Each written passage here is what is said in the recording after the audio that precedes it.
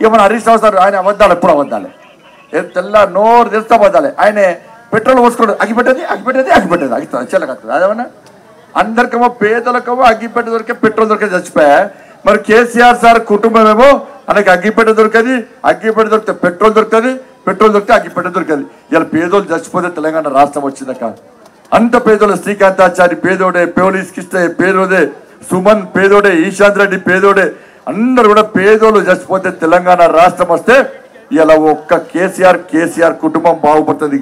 అయ్య ముఖ్యమంత్రి అయ్య ముఖ్యమంత్రి కొడుకు మంత్రి బిడ్డ ఎమ్మెల్సీ అల్లుడు మంత్రి సడ్డకుని కొడుకు రాజ్యసభ ఒక్కొక్కరికి మూడు లక్షల నుంచి ఐదు లక్షల జీతం వస్తుంది.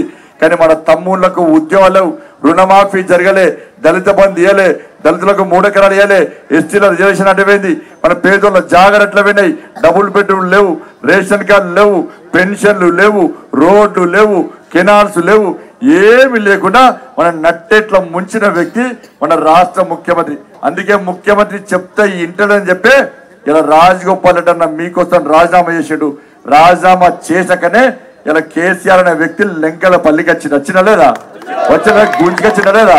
ఒక్క రాజగోపాల్ రెడ్డి అని ఎదుర్కోవడానికి పదహారు మంది మంత్రులు వచ్చినాక ఎనభై మంది ఎమ్మెల్యేలు లీడర్లు జడ్పీటీసీలు ఎంపీటీలు సర్పంచులు మాజీ సర్పంచులు ఉప సర్పంచులు వార్డు మెంబర్లు ఎంపీపీలు అందరూ వచ్చి దండుపాలెం మూటల కంటే పొట్టు పొట్టు తాగుతారు వాళ్ళు. గుట్టల పోటీ పొట్టల పోటీ పోతే మొత్తం అందుబాటులే. ఆ సీసలు అమ్ముకుంటాడు బతుకుతా రోడ్ అవుతుంది మనకి రోడ్ అవుతుంది. ఆ సీసలు అమ్మితే రోడ్ అవుతుంది. ఊరు మొత్తం నవ్వుకుంటున్నాడు వేరే కాడ. నేను ఒక అక్క పోయిందట ఒక్క దగ్గరకు ఒక ఎమ్మెల్యే వచ్చిందట.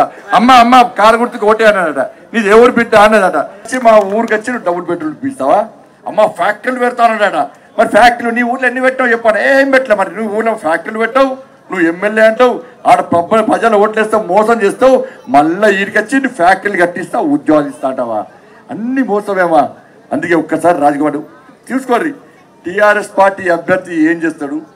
కాంగ్రెస్ పార్టీ అభ్యర్థి ఏం చేస్తాడు? కాంగ్రెస్ పార్టీ వాళ్ళు పైసలు మొత్తం కేసీఆర్ మొత్తం వాళ్ళు పోటీ చేస్తారు. వాళ్ళు మంచిగా విడిచిపెట్టుకోండి వాళ్ళ గురించి చదువు కానీ. ఇవాళ టీఆర్ఎస్ పార్టీ అభ్యర్థి ఎవరో తెలుసుకోండి. రాజగోపాల్ గారు పోతే పూలు చల్లుతున్నారు ఆరతులు ఇస్తున్నారు షాలోలు కప్పుతున్నారు సన్మానం చేస్తున్నారు. టీఆర్ఎస్లు వస్తే అందరు డోర్లు పెట్టుకుంటున్నారు. ఎందుకంటే నమ్మకం పేదోడు. ఏమైనా అవసరం వస్తే పెళ్ళి అయితే పైసలు ఇస్తాడు. ఏమైనా ఇబ్బంది ఉంటే పైసలు ఇస్తారు హాస్పిటల్ పోతా అంటే పైసలు ఇస్తాడు. ఇల్లు లేవంటే ఇల్లు కట్టిస్తాడు. బోలా మనిషి ఏం దాచుకోడు. పేదల గురించి ఆలోచిస్తాడని చెప్పి ఆలోచించే ఎక్కడ ఏ సర్వే కూడా పువ్వు ఉర్తు గెలుస్తుంది పువ్వుర్తి గెలుస్తుంది పువ్వు ఉర్తు గెలుస్తుంది చెప్పి అంతటా పువ్వు పువ్వు మునుగోళ్ళ పువ్వు తప్ప వేరే గెలవది అనుకుంటున్న సందర్భంలో ఇలా కేసీఆర్ వచ్చి పైసలు వస్తాడు ఓటుకు నలభై వేలు వచ్చినాయా? వచ్చినాయా అక్క? వస్తాయి వస్తాయి. ఇప్పుడు మేము వచ్చిపోయినా కదా రేపటి పాకెట్లు వస్తాయి. ఓటుకు నలభై వేలు ఇస్తున్నట తీసుకోవాలి? తీసుకోవద్దా? తీసుకోరా తీసుకోరా? తీసుకుంటారా తీసుకోరా. కానీ చూసుకోరు దొంగ నోట్లు ఇస్తారు బెల్లంగా లెక్క పెట్టుకోరా. ఆ, మళ్ళా నలభై వేల కంటే మళ్ళీ ఎన్ని ఇస్తారు దాని సగం మంది సగం కొట్టుకోపోతారు. నలభై వేలు ఇస్తారు పక్క లెక్క పెట్టుకోరు ఒక్క నోట్ తక్కువ రాకుండా చూసుకోరు. నలభై వేలు అవునా కాదా? నలభై వేల రూపాయలు ఇస్తారట ఓటు అమ్ముకుంటారా మరి? హుజరాబాద్లో ఇరవై వేలు ఇచ్చినాడు ఓటుకు. దుబ్బాకలో పది వేలు ఇచ్చిండు ఓటుకు. ఆడ ఓట్లు అన్ని పైసలు తీసుకున్నారు పేదోళ్ళు. తర్వాత కేసీఆర్ తన పేదోళ్ళు లేదే పైసలు వాడేస్తే ఓట్లు వేస్తారని చెప్పి వాగిండట మురిగిండట. అప్పుడు హుజరాబాద్ దుబ్బాకలో పేదోళ్ళని రేషన్ బిడ్డ మమ్మల్ని పైసలు పడేస్తే తీసుకొస్తా అంటావు ఓట్లు ఇస్తా అంటావు.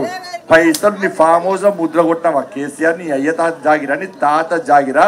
మా మోడీ గారు పువ్వు గుర్తులు పైసలు ఇస్తే ఇలా సంక్షేమ పథకాలు ఇస్తే ఇవ్వకుండా మన రక్తం తాగుతున్నాం మా ఉసురు పోసుకుంటున్నావు రాసి రంపాన పెడుతున్నావు మా పైసలు మాకిచ్చి మమ్మల్ని మోసం చేస్తామని చెప్పి పైసలు పక్కా తీసుకుని రక్క ఓటు ఏడ గుద్దనం గాడ గుద్దిరు పువ్వు గుర్తు మీద గుద్దుతే కేసీఆర్ గుడ్డ తమిళమన్నది ఇరవై వేల ఓటుతో గెలిచిండు అక్క ఇరవై వేల ఓటుతో గెలిచిండు.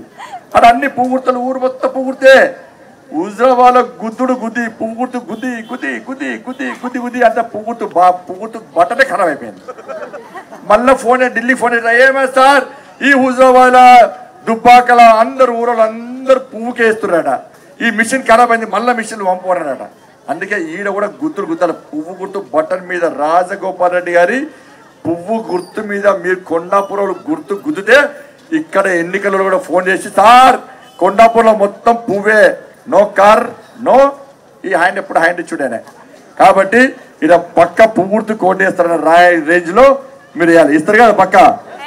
సిపిఐ పార్టీ ఉంది ఉందా? అన్న ఇక్కడ ఉన్నారు ఎవరన్నా? కార్యకర్తలు మంచోళ్ళే పాపం. సిపిఐ కార్యకర్తలు చాలా మంచోళ్ళు అన్న వాళ్ళు జెండా కోసం పనిచేస్తారు వాళ్ళు. సిద్ధాంతం కోసం మనం మన సిద్ధాంతం కోసం పనిచేస్తాం. వాళ్ళేమో వాళ్ళ సిద్ధాంతం కోసం పనిచేస్తారు.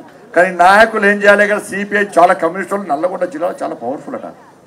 అది ఏం చేయాలి ఆయన పోటీ చేయాలి తీసుకుపోయి జెండాను తీసుకుపోయి సిద్ధాంతం తీసుకుపోయి అక్కడెక్కడో ఖమ్మంలో ఒక పిల్లాన్ని చంపారమ్మా ఓ పిల్లాన్ని చంపితే ఆ పిల్లాన్ని ఎందుకు చంపాడో సొంత పగల కోసం చంపితే దానిలో ఉన్న నేరస్తులను కాపాడడం కోసము సిపిఐ నాయకులు పోయి ఇలా కేసీఆర్ కాళ్ళ ముందు మోకరిల్లి కేసీఆర్కు సపోర్ట్ చేస్తున్నారు కేసీఆర్ అడిగిన సిపిఐలను ఎందుకు ఇచ్చారు సార్ టీఆర్ సపోర్టు డబుల్ బెడ్రూమ్లు ఇచ్చినా ఉద్యోగాలు ఇచ్చినా జాగాలు ఇచ్చినా ఇల్లు ఇచ్చినా ఏమి ఇచ్చినా సపోర్ట్ మా కేసులో మాఫీ చేస్తున్నాడు. అందుకే ఇష్టం చెప్పాడు. అందుకే కార్యకర్తలు సిపిఐ సిపిఎం కార్యకర్తలందరూ కూడా జై బీజేపీ అంటున్నారు జై తెలంగాణ అంటున్నారు. భారత్ మాతాకి జై అని చెప్పి రాజగోపాల్ గెలిపించే ప్రయత్నం చేస్తున్నారు. అందుకే అక్క మీరు అందరూ ఒక్కసారి ఆలోచించండి.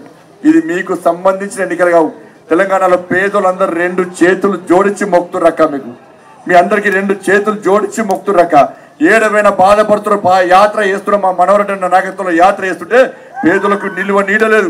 ఉండడానికి ఇల్లు లేదు తినడానికి తిండి లేదు వ్యవసాయం చేసుకోవడం జాగలేదు అమ్ముకుందామంటే ఆస్తులు లేవు. వాళ్ళ బతుకంతా మీ చే- మీ చేతిలో ఉందాక మీరు టీఆర్ఎస్ పార్టీని గెలిపిస్తే ఈ ముఖ్యమంత్రి ఏమనుకుంటే తెలుసా? "ఏ, కొండాపురం మా వాళ్ళే డబుల్ బెడ్రూమ్లు ఇవ్వకుండా ఓటేసి గెలిపించారు నన్ను.